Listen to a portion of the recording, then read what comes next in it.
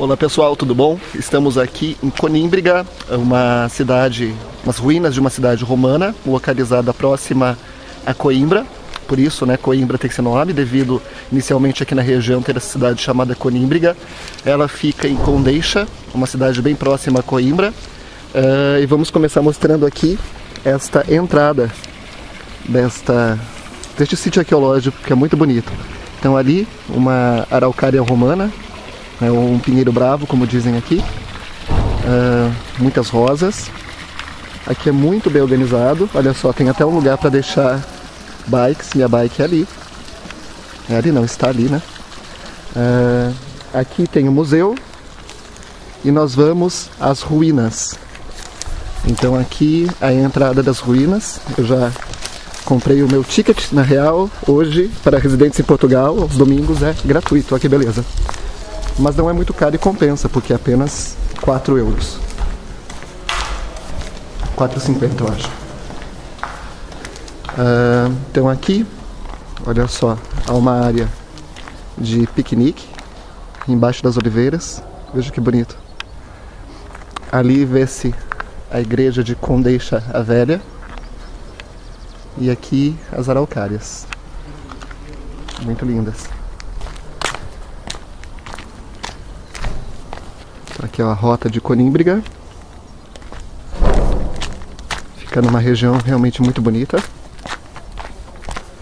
Ah, veja só, aqui já dá pra ver algumas coisas da cidade, como um anfiteatro. Aqui é um restaurante. E vamos às ruínas.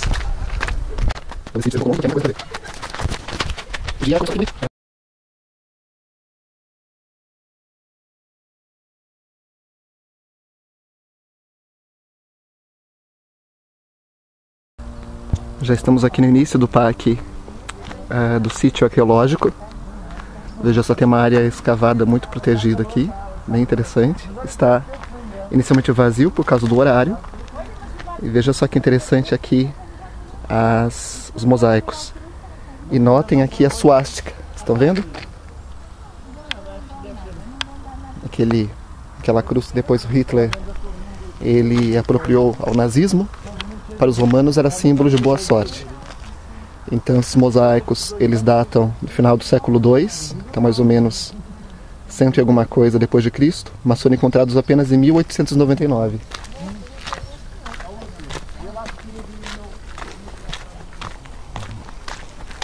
Lembrando que os, os romanos conquistaram a região que hoje é Portugal, chamava Lusitânia, uh, mais ou menos alguns anos antes uh, da era cristã.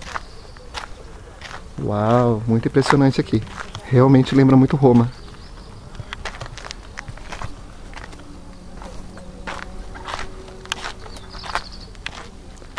Porque eu não sei se pode entrar aqui. Na dúvida não vou entrar, né? Porque judiação. Estragar esses mosaicos, veja só.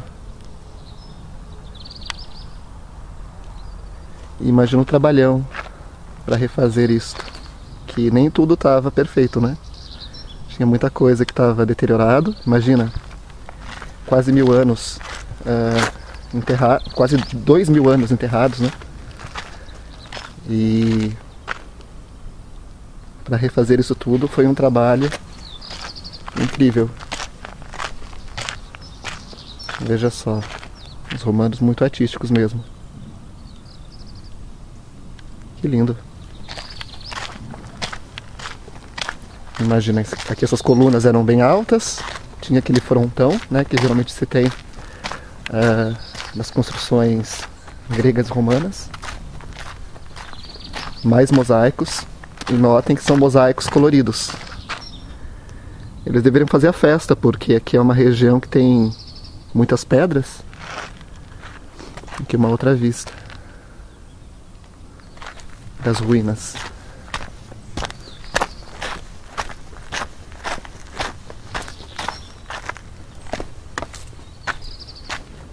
Ah, aqui era uma antiga terma. Aliás, aqui dá pra ver, ó. Aqui está a falar aqui é a Travessa das Termas. E ali dá pra ver o lugar, né? Onde esquentava-se a água. Muito interessante. Em Braga também há umas termas muito famosas. Giro, giríssimo.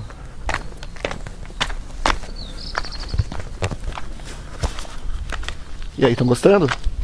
Eu tô achando o máximo, ainda mais que eu tô sozinho aqui. Eu não gosto de multidões.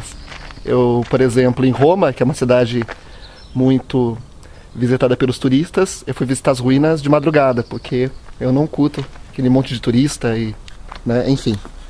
Cada um tem sua preferência. Aprecia e aproveita muito mais no silêncio, só os passarinhos. Veja só aqui que interessante. Tipo um ofurô, né? E aqui era do último quartel do século I, então mais ou menos a partir do ano 75 depois de Cristo. Umas temas muito requintadas, bem elaboradas. Então, continuando nossa visita aqui para Conímbriga. Agora nós vamos passar pelos fundos aqui das termas. Veja só, aqui devia ser uma grande banheira ou piscina aquecida, né, para muitas pessoas. Os degraus que se descia até ela.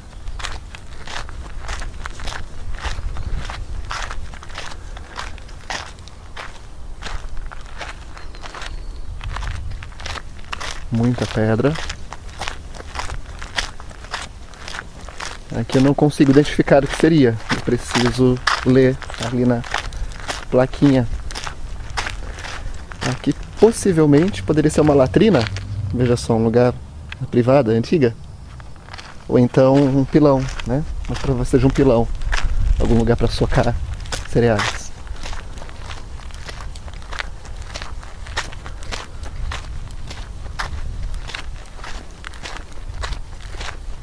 Que lindas essas florezinhas.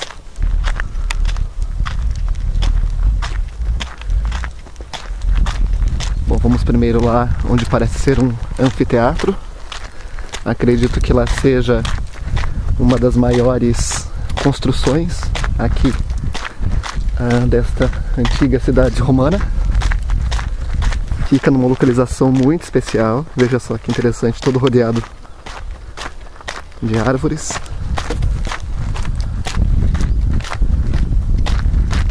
Então, falha minha. Na verdade, isto não era um anfiteatro. Aqui é uma construção moderna. Mas essa parte é uma parte mais separada do resto da cidade.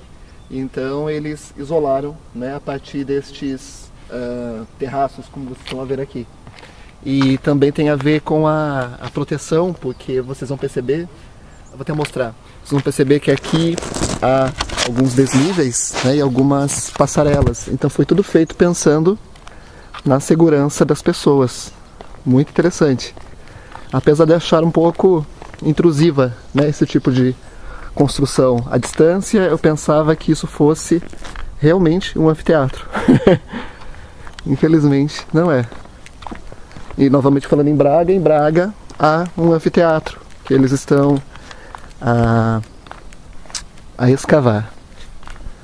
Mas aqui era uma parte, acredito, bem povoada da cidade, porque há muitas ruínas.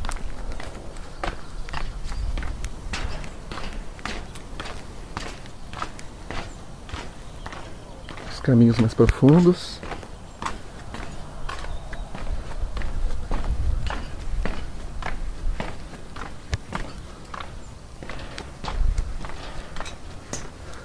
aqui tem um desnível, mas eles sinalizaram bem para que ninguém tropece.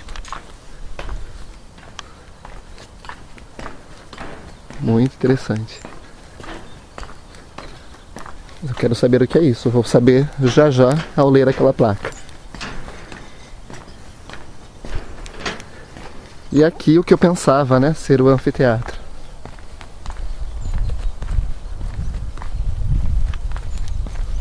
Depois eu vou descer ali para ver o que temos lá, a vista que temos lá.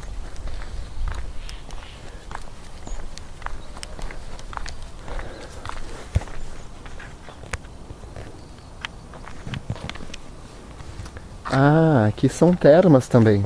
Então, aqui era uma área realmente muito propícia para eles tomarem banho, porque tinha termas lá e aqui também tem uma outra terma. Foi feita na época do Imperador Augusto, no século I a.C. E aqui está falando que era um ambicioso programa de obras públicas para modernizar a cidade. Uh, então, realmente era um percurso de banho muito funcional, que tinha uma sala de entrada com mosaico. Eu ainda não vi o um mosaico, nós vamos ver.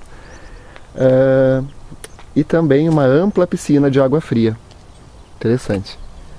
Bom, vamos descer agora aqui para ver do que se trata esta construção e o que temos aqui embaixo, a vista que temos aqui embaixo, que deve ser muito linda.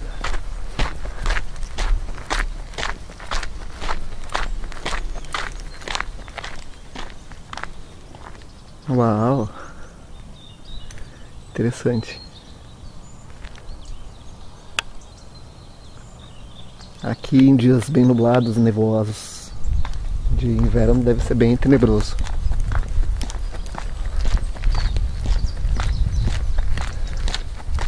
Acho que falei algo errado, né? Nevosos. Enfim, com neblina. Uau, curti esse lugar. Veja só que tem uma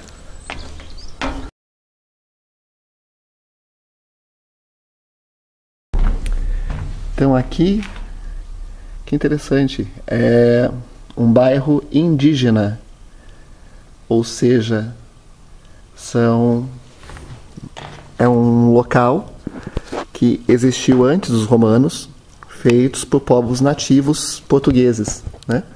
Uh, possivelmente, que está a dizer que foi no século 4 antes de Cristo, na Idade de Ferro. Então aqui são povos bem primitivos mesmo que fizeram estas construções que estão aqui bem protegidas.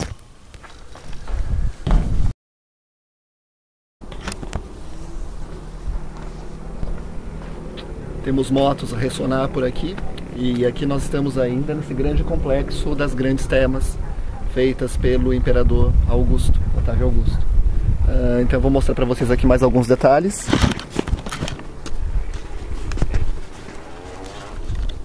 Aqui possivelmente era uma área para sair a água. Ali uma espécie de um, uma sauna, um ofurô. Vamos ver mais para cá. Ah, e aquela área que eu mostrei para vocês, né? Aquele grande vale, possivelmente passa um rio. O rio deve ter águas excelentes, né? Pois é um rio muito profundo. Então os romanos procuravam lugares com muita água e água boa. Por exemplo, a região de Castelo de Vide, há uma cidade romana a ser escavada chamada Amaia. Uh, e nessa cidade romana uh, há muito ainda a, a, perceber, a entender o que foi feito lá. Mas sabe-se, por exemplo, que Castelo de Vide havia mais de 300 fontes de águas, né? águas boas, medicinais, inclusive. Então, por isso, eles escolheram aquela região fazer algo, uh, uma povoação, né, uma, uma colônia romana. Então os romanos tinham essa preocupação com a qualidade da água, porque a água para eles era também não só a questão da, da vida, mas também da, da diversão. Né? Os, os, romanos tinham essa prática de banhar-se muito e coletivamente. Então os banhos eram, eram feitos por vários. Temos um grupo de escoteiros aqui, também a chegar. Quando eu comecei a gravar, eles estavam a entrar. Então vamos andar um pouquinho antes que eles uh, comprometam o meu filme. Ah, interessante, uma grande piscina com escadório. E lá, se não me engano, onde tem aquele, aquelas grandes colunas, era o fórum. E os cristãos, né, como sempre, uh, fazendo suas grandes obras próximo a lugares de povos pagãos, né? Os romanos também. Então aqui mostra como que eram estas grandes temas. Muito giro. Olha que bonitos detalhes. Então tinha ali banhos uh, frios, frigidarium, mornos, trepidarium e quentes, o caldarium.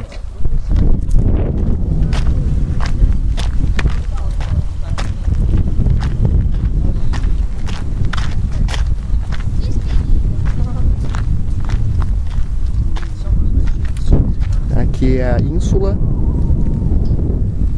que é um lugar com lojas abertas para a rua, tipo uma área comercial dos romanos. Percebe-se bem que é uma via, uma via bem retilínea, né? As cidades romanas elas eram bem planejadas, com ruas, mas que naquela época não existissem automóveis como existem hoje. Uh, existiam carroças, havia também a questão uh, dos desfiles triunfais, das procissões, né? Então eles faziam questão de fazer ruas, né, ou vias suntuosas para poder uh, celebrar os seus grandes feitos e também expor os escravos ou quem eles queriam ridicularizar. Os romanos eles eram muito do espetáculo, por isso também tinha o Coliseu, né, grandes obras né, daquele tipo.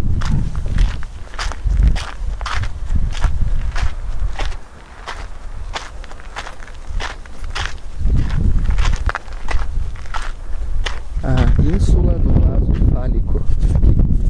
Onde será que está o vaso fálico? Espero que todos saibam o que é falo, né? Deve ser aquele, aquele lá, talvez. Então aqui acredita-se que é algo pré-romano. Ou seja, pelos povos originais aqui da Península Ibérica.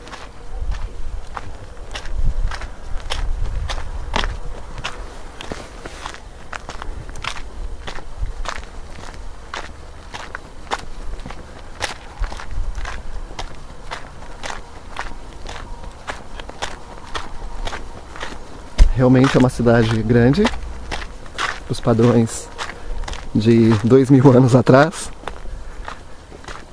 Isso denota que essa região aqui do centro-norte de Portugal, ela realmente tinha uma certa importância para os romanos.